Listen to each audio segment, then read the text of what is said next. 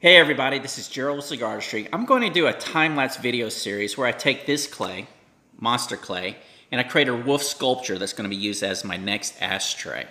Now I'm not sure how many videos this will take, probably two or three. I'll just cut them up in segments as time permits. But I'm going to heat up this clay, take a lump of it, and show you how I go from nothing and creating a wolf sculpture that will be used as my next ashtray. Coming up next.